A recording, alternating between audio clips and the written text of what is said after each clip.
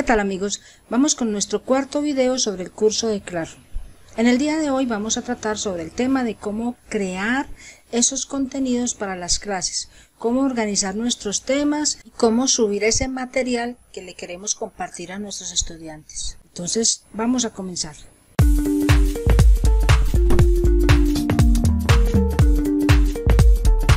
Vamos a elegir uno de nuestros cursos y allí vamos a iniciar con nuestro proceso del día de hoy. En este tablón que vemos acá observamos que aquí no aparecen entregas pendientes ni para nosotros ni para los estudiantes. Vamos a pasar a la parte que dice trabajo de clase. Nos ubicamos acá y desde acá tenemos varias herramientas las cuales podemos disponer de ellas en algún momento. Si queremos eh, realizar una reunión a través de Meet, programar algo a través del calendario o simplemente trabajar desde nuestra carpeta de Drive. En esta parte nos ofrecen algunas orientaciones sobre qué podemos hacer en este muro que se llama trabajo de clase. Vamos a comenzar desde donde dice crear. Y dentro de las opciones que nos dicen crear, está crear una tarea, crear un cuestionario, una pregunta, si queremos hacer una pregunta libre, solamente queremos hacer un sondeo, eh, si queremos crear material de apoyo, si queremos reutilizar material que ya hayamos montado anteriormente en otras clases o en otros años, que también lo podemos volver a utilizar, si queremos dividir nuestro trabajo en temas. Voy a detenerme en esta parte de temas porque me parece que es importante dentro de la presentación y organización de nuestra clase manejar esto por temas. Cuando hablamos de temas, cada docente debe determinar cómo quiere organizar su clase. Puede ser que la queramos organizar por periodos, si nuestra institución se han dividido, se han establecido periodos de clase, puede ser que no queramos establecer eso, sino que simplemente queremos determinar los contenidos, o sea, manejar un título que identifique el tema del que quiero hablar. Esa sería otra opción. Para nuestro ejemplo de hoy voy a dividirlo en periodos y a ese periodo simplemente le voy a asignar algunas actividades. Entonces voy a iniciar dando clic en tema y a esta la voy a llamar periodo 1.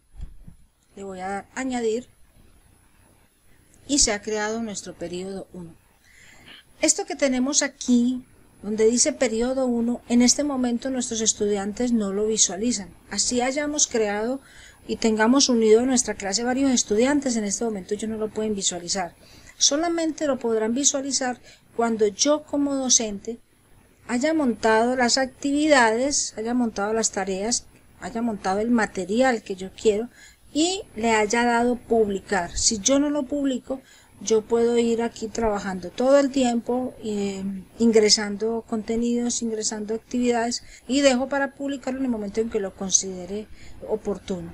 A este tema de periodo 1, fíjense que yo podría crear otro tema Vamos a hacerlo acá, vamos a colocar que el otro tema va a ser para el periodo 2. Puedo establecer todos los temas que yo quiera.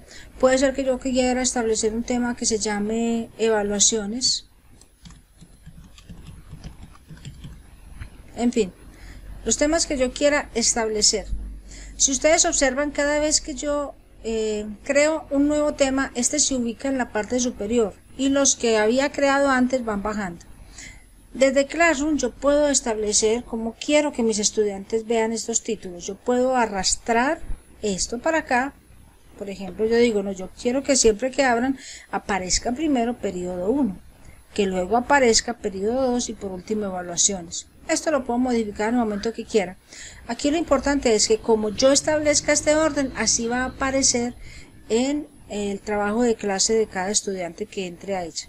Vamos ahora a la parte de crear y esta vez vamos a crear material y a ese material le vamos a dar un título. Vamos a imaginar que dentro del periodo 1 yo quiero trabajar algo que se llame actualidad informática o actualidad tecnológica. Aquí yo voy a dar la descripción. Esta parte es muy importante, ya que esto es un aula virtual. Describir realmente qué es lo que el estudiante o qué es lo que pretendemos que haga el estudiante es importantísimo de la claridad con que nosotros hagamos una descripción será hacerle más fácil al estudiante entender qué es lo que pretendemos que haga. Para el día de hoy, pues entonces eh, simplemente voy a escribir, lee todo el material, tengo la posibilidad desde acá de aplicarle ciertos formatos, ciertos atributos que ya determinarán pues de, de cada docente. Aquí abajo tenemos la opción de añadir material o de crearlo. Puede ser que yo no tenga el material ya listo, sino que apenas empiezo a crearlo. Pero vamos a mostrar primero cómo añadirlo. Damos clic en añadir y tengo cuatro opciones. Puedo añadir directamente desde Google Drive. Recuerden que solamente por el hecho de tener un correo tenemos un espacio en Google Drive, tenemos un espacio de almacenamiento que está en nuestro correo, en las aplicaciones de nuestro correo, ahorita lo vamos a mirar. Puedo añadir un enlace a una página donde yo considere que hay información importante para el estudiante, puedo subir un archivo desde mi computador o puedo subir un video de YouTube. Vamos a, empezar con lo que tradicionalmente hacemos y es añadir un archivo. Entonces voy a darle aquí en añadir y voy a buscar acá. Acá manejaría los archivos recientes que manejo en Google Drive, subirlos desde ahí, desde mi unidad de Google Drive, algo destacado que yo haya puesto. Pero en este caso vamos a darle eh, buscar, buscar desde nuestro computador. vamos a imaginar este y lo voy a seleccionar. Ya he subido un archivo desde mi computador. Este archivo, si ustedes observan, automáticamente se subió a Google Drive.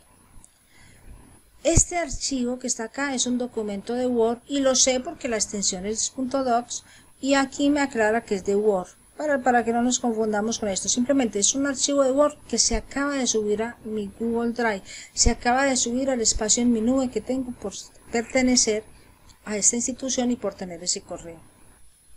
Voy a mostrarles, voy a ir a Google Drive desde acá y observen que desde mi unidad donde se había creado ya una carpeta de Classroom, que es la carpeta que tradicionalmente se crea al nosotros estar trabajando o creando clases, dentro de esa carpeta de Classroom yo tengo creado estos grupos, esto A, esto B, esto C y una clase de prueba.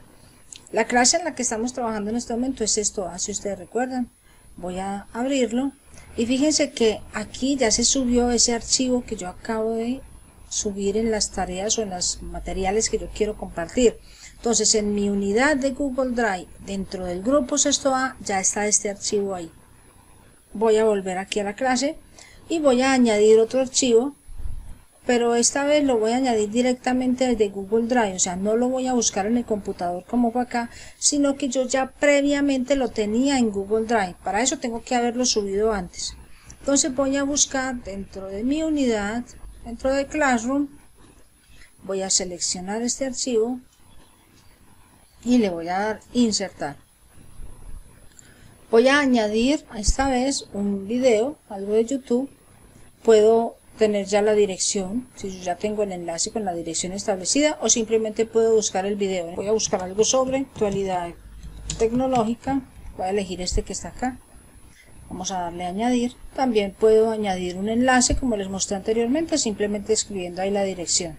También puede ocurrir que el material que quiero ofrecerle a mis estudiantes todavía no lo tengo, sino que apenas lo voy a crear. Quiere decir que puedo venir aquí a la pestaña crear y elegir, por ejemplo, un documento de Word y en ese documento escribo la información que quiera. Vamos a imaginar que quiero hablar sobre lo mismo, actualidad tecnológica. Escribo toda la información que considere pertinente, todo lo que yo quiera escribir sobre ese tema y simplemente todo lo que yo voy escribiendo acá, si ustedes observan, automáticamente se va guardando. Miren acá. No necesito compartirlo porque ya lo estoy compartiendo a través de lo que es la plataforma de Claro le puedo poner un título a ese documento, vamos a imaginar que es el mismo título, actualidad tecnológica, y este documento, como ya se ha guardado automáticamente, lo único que tengo que hacer es venir aquí arriba y cerrar, y observen cómo se ha cargado acá. Voy a actualizar la página para que me tome el título del documento que le mostramos. Vuelvo acá, miren que acá aparece lo que hicimos de actualidad tecnológica. Antes de mostrarles lo del título del documento, observen acá que aquí dice borrador y está en un tono gris. Quiere decir que está visible solo para nosotros, todavía no se ha publicado para los estudiantes. Voy a volver a ingresar aquí. vuelvo aquí al material, esto es lo que he subido, observenlo desde acá, miren que aquí ya me aparece con el nombre de actualidad tecnológica y si yo quiero volver a hacer cambios en este material simplemente le digo editar material volvemos aquí a esta vista y observen aquí tengo el documento que subí desde un archivo, el que subí desde Google Drive, el video y el que acabo de crear. Si en algún momento estos archivos de Word, cualquiera de estos, yo necesito hacerles una modificación o porque apenas lo estaba iniciando o decidí que hay un cambio, simplemente ingreso de nuevo al archivo dando clic allí, adiciono todo lo que tenga que adicionar, cualquier agregado que tenga que hacer, él automáticamente se guarda, vuelvo y cierro y ese documento va a estar actualizado para ellos. Si alguno de estos archivos ya no lo necesito, puedo eliminarlo desde esta X. Entonces voy a, voy a eliminarlo desde acá. Ahora miremos esta parte en el lado derecho donde dice publicar. Antes de publicar, para que llegue a los estudiantes, podemos organizar ciertas cosas. Por ejemplo, podemos determinar si esos archivos, ese material va a ir solamente a un grado o va a ir a todos los grupos que nosotros tenemos. Entonces desde acá podemos elegir qué grupos van a recibir esa información. También podemos definir si dentro de esos grupos o uno solo de esos grupos vamos a escoger algunos estudiantes. Puede ser para todos los alumnos o solamente para unos en particular. Aquí porque solamente tengo dos estudiantes, pero si tuviéramos un listado más grande, pues podríamos elegir entre varios de ellos. También podemos elegir este material a qué tema o temas pertenece. Es decir, yo puedo decir que este material lo voy a compartir con uno de mis temas que cree, que aquí aparece, que es periodo 1. Yo digo, bueno, yo quiero que ese material aparezca dentro del periodo 1. Y puede ser que más adelante yo diga, no, también quiero que aparezca dentro del periodo 2. Entonces podría utilizarlo en los periodos que yo requiera que aparezcan. O en los temas. Recuerden que a periodo 1 le pusimos ese nombre dentro de un tema, pero puede ser cualquier tema que, hayamos elegido. Antes de publicar también, entonces podemos mirar estas opciones. Yo puedo programar, es decir, eh, ah, yo quiero que este trabajo no aparezca todavía porque no hemos llegado allá, simplemente estoy adelantando, entonces yo puedo elegir aquí una fecha en la que quiero que aparezca y puedo elegir la hora en la que también quiero que aparezca esa publicación. También puedo guardarlo como borrador. Sea, no quiero todavía publicarlo, simplemente lo quiero guardar porque más adelante quiero hacer algunas modificaciones. Bueno, en el ejemplo de hoy vamos a darle publicar. De nuevo publicar. Y observen que ahora aparece dentro de periodo 1, voy a actualizar esta página para que lo podamos ver de una forma más clara. Miren que antes me aparecía en la parte superior, ahora aparece periodo 1 y dentro de periodo 1 apareció actualidad tecnológica. Dice que ha sido publicado, hace parte de este. Si en otro momento ese mismo material lo publicáramos en periodo 2, aparecería en esta parte. Y por último veremos cómo utilizar materiales que ya hayamos creado con anterioridad. Si yo vengo aquí donde dice crear y yo quiero utilizar una publicación o una actividad que yo haya hecho en otro momento para otro grupo o en otra época, simplemente le doy acá reutilizar publicación y dentro de todos los grupos que aparecen yo elijo cuál es el grupo del cual quiero hacer uso de su material. Voy a elegir por ejemplo clase de prueba y él me dice que dentro de clase de prueba hay una lectura que fue asignada en ese grupo, pero yo lo quiero utilizar para este, entonces simplemente lo selecciono, le doy reutilizar y me aparece la misma actividad pero ya tengo que definir para qué grupos la quiero utilizar, para qué estudiantes, si le quiero cambiar el tema. Vamos a imaginar que yo no lo quiero con este tema, sino que voy a eliminar, le voy a dar otro tema, puedo crear un tema si yo no lo tengo creado, simplemente le digo crear tema, digo no es que voy a crear otro tema que se va a llamar textos y se creará un tema textos para este grupo de sexto A donde esté este archivo que ya estaba anteriormente. Simplemente le doy publicar.